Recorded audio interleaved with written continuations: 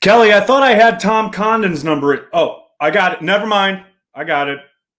I got it. Tom, hi. Yeah. Hi, Brian. It's Brian. Right. Right. Brian, we're in every conversation. Good. That's right.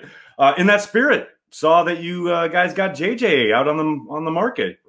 I just I'm impressed. Yeah, we thought it might happen, but you know, I'm sure that this is is one of a, a long line of calls you have to make today. But uh, just wanted to touch base. You know, obviously JJ, Wisconsin, playing for the Packers would be such a big deal.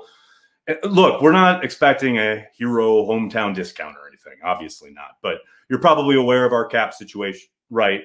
Not great. Not going to lie. But I will tell you this little piece of information that isn't, you know, public knowledge. I just happen to have an in well, okay, the the woman who cuts my kid's hair is friends with one of the regional vice presidents at Culver's. And they right. Oh, so so they've reached out to you.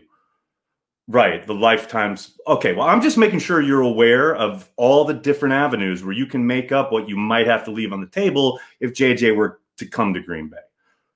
What could well, you know, I'm I'm sure you guys are going to hover around 15, 16 and there's no way we can do that. But you know, we could probably make something along the lines of eight or nine work. Maybe we could get up to 10.